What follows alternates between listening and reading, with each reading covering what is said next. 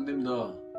금일은 신제품이 나와서 하나 소개해 드릴까 하는데요. 진해 내반 같은 경우에는 화살척 오징어 낚시를 하기 위해서 중국에서 와요. 그 정도로 생활 낚시로 자리를 잡았는데 가성비 좋습니다. 6만원에 뭐 오징어 실컷 잡고 오징어 회에 오징어 찜에 오징어 정식을 먹을 수 있죠.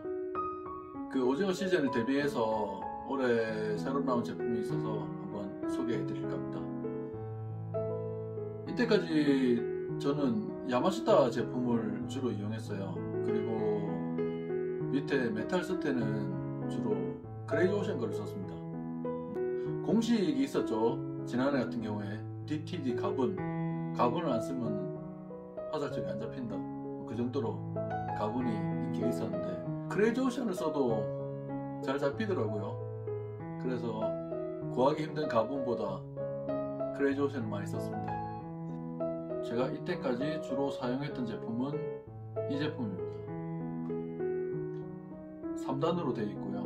밑에 메탈 슷테나 고리봉돌 하나 물려가지고 사용했었는데 이 제품을 구하기도 좀 힘들고 그냥 일반적인 야마시타 오빠 있을 때 7cm짜리 3개를 묶어놓은 거예요. 그냥 채비가 이렇게 되어 있어서 편하게 사용하고 있는데 조금 작죠.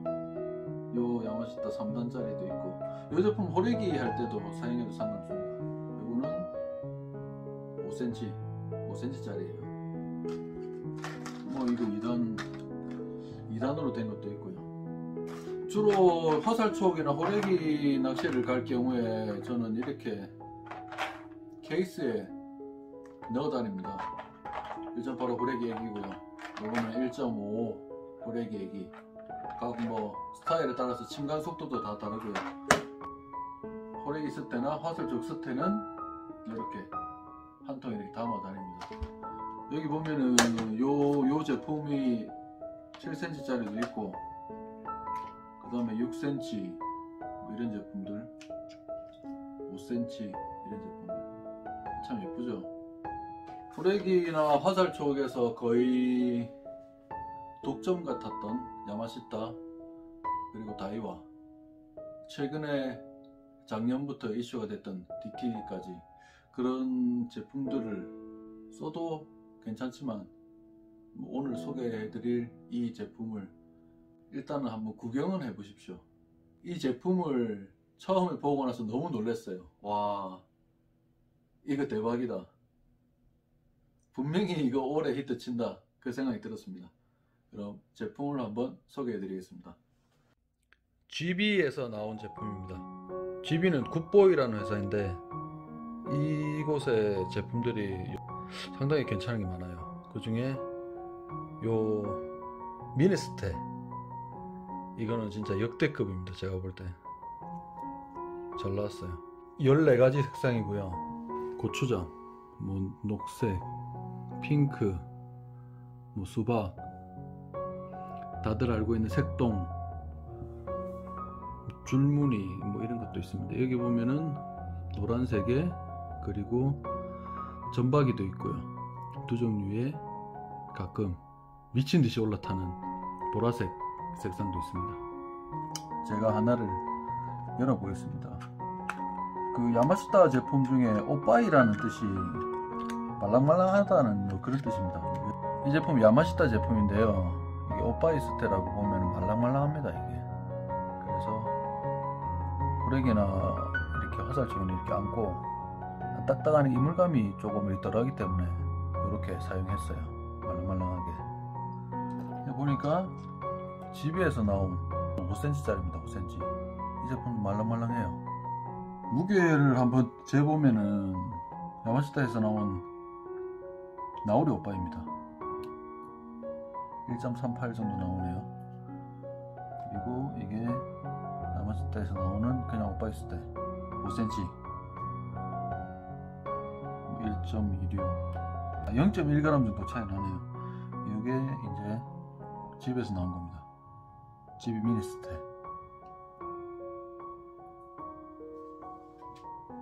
무게는 약간 차이는 납니다. 여기 훅이 6cm 2.1g 6cm 2.8g 한 0.7g 정도 차이 나네요. 현장에서 0.7g 정도는 충분히 가감할 수 있습니다.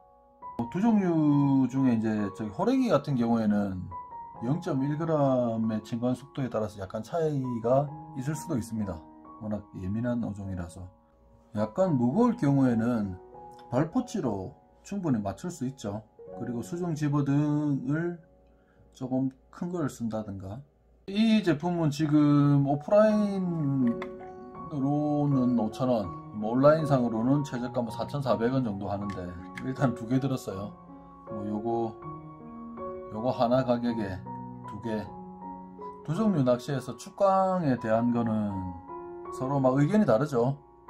축광이 더 잘 된다 하시는 분과 축광이 더 안 된다 그렇게 하시는 분이 서로 이렇게 나뉘는데 뭐 그거는 각자 스타일에 맞게 사용하시면 됩니다.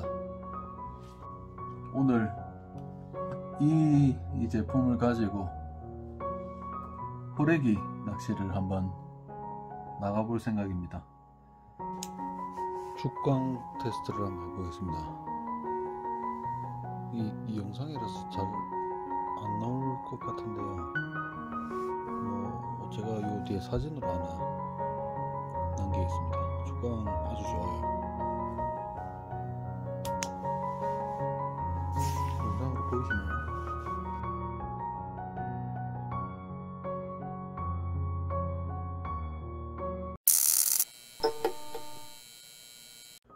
제가 준비한 영상은 여기까지입니다. 제품 퀄리티는 괜찮습니다. 한번 믿고 써보셔도 될 것 같아요. 올해 화살촉 오징어 방생 사이즈 금지 체장 12cm에서 15cm로 늘어났습니다. 3cm 늘어났는데 그 기준에 맞게 손맛 많이 보시길 바라고요. 이 제품들은 제가 필드에서 사용하는 영상으로 남기겠습니다. 오늘도 재미없는 영상 시청해주셔서 대단히 감사합니다. 안녕!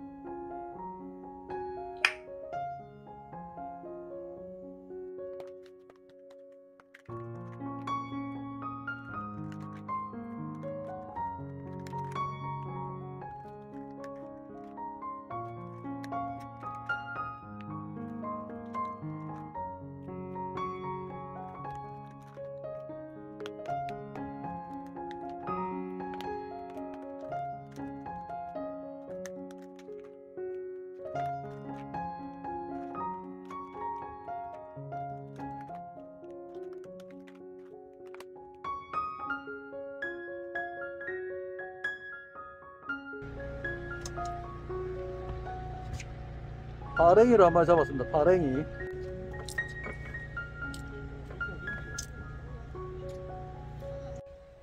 따단.